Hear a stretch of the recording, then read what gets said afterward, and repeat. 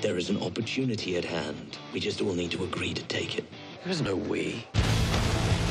He's dangerous. Then why don't you stop it? We've all gone too far to turn back. I always thought this journey would end in battle. But now, as it turns out, something else lies at the end of this road. Judgment.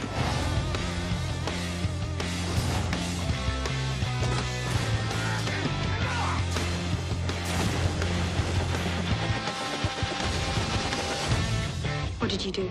What was necessary?